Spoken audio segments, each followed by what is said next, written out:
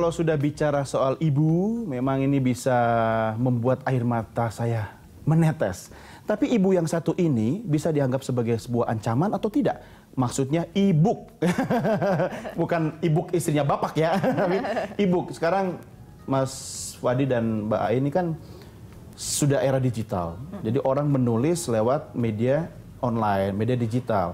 Menurut Anda apakah ini tantangan, ini ancaman atau apa kira-kira? Kalau saya tidak melihat ini satu ancaman ya, karena hmm. apalagi buku ya, budaya membaca buku itu saya kira uh, itu bukan orang hanya melihat konten, tapi ada suatu keasikan untuk membalik yeah. halaman, menyimpannya, yeah. mengambilnya lagi, dan itu satu seni yang uh, tidak mudah digeser oleh. Yeah. Itu buku fisik ya, yes. asik ya. Ya mungkin itu karena kebiasaan kita dari kecil udah dibesarkan dengan bau koran pagi, mm -hmm. bau buku. Tapi anak yang sekarang mereka dibiasakan dengan baunya gadget, gadget gitu ya.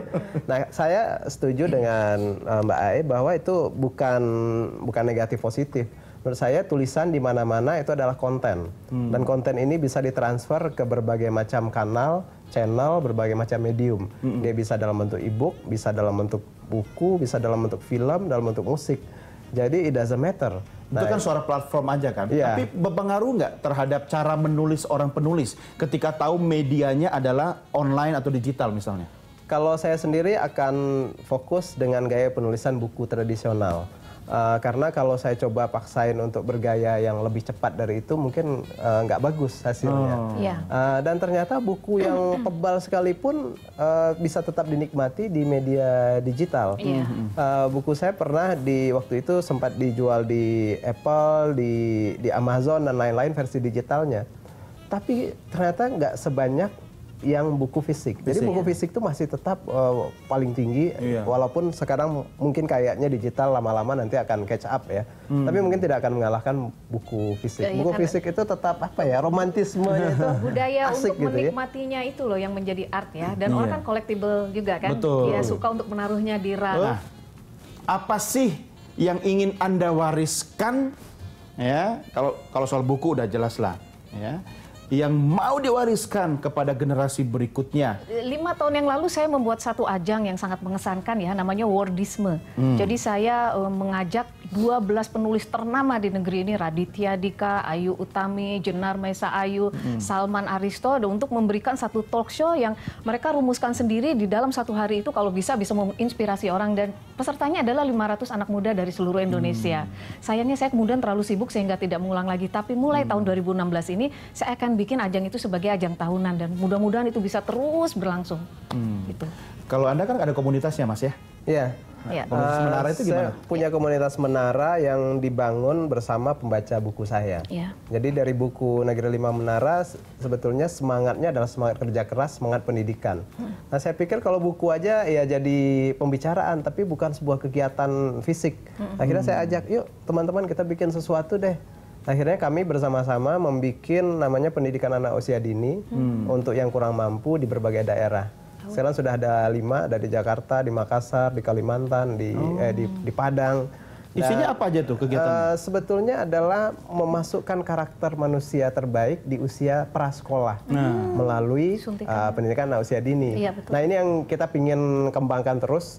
Mudah-mudahan 30 tahun lagi anak-anak ini menjadi dewasa, berada di dewan, berada di pemerintahan, mereka menjadi pribadi yang anti korupsi. Ya, gitu ya.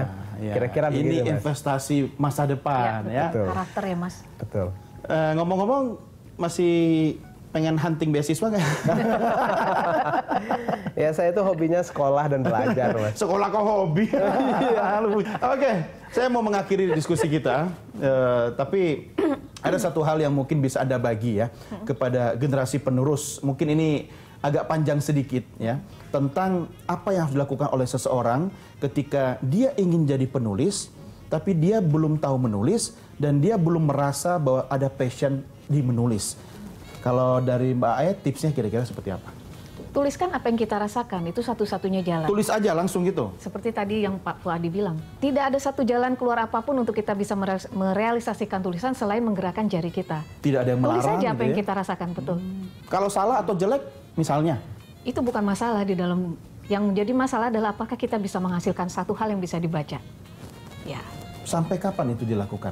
Itu dengan adanya kebiasaan dan dengan kita kemauan untuk belajar, kita akan matang di dalam proses itu. Terus sampai kapan mau jadi seorang penulis? Oh, nggak ada batas waktu ya, Mas. Apalagi seseorang mengatakan katanya orang yang suka nulis pikunnya lebih lama atau bahkan tidak pikun. Iya, iya, betul. Saya seneng banget itu. Iya.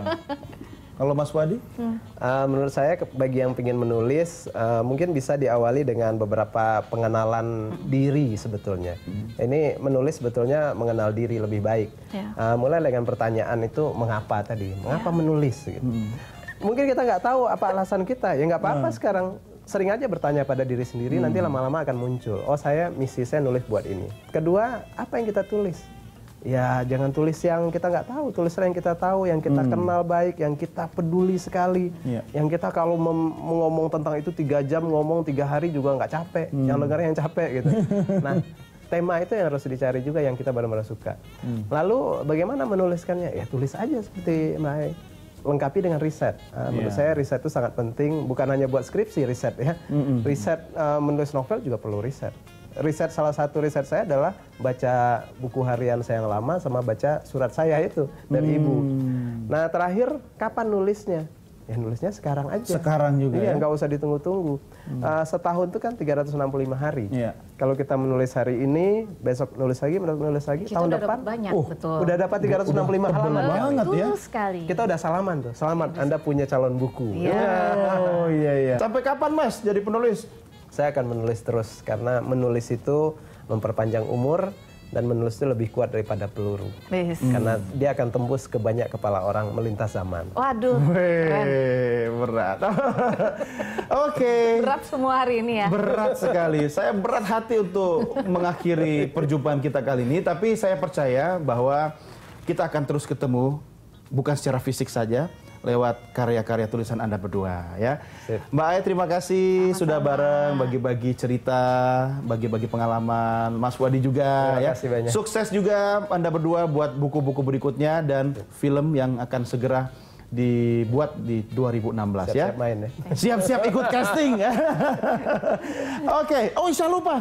Nah, kita juga ada eh, ini nih di sini nih ada kebiasaan nih sebelum closing narsis dulu kita ya. Oke. Oke, kita foto bareng-bareng satu, dua.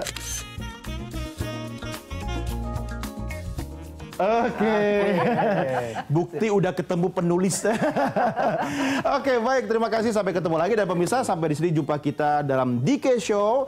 Mudah-mudahan kita bertemu lagi dalam keadaan sehat selalu. Sampai ketemu lagi. Sampai jumpa.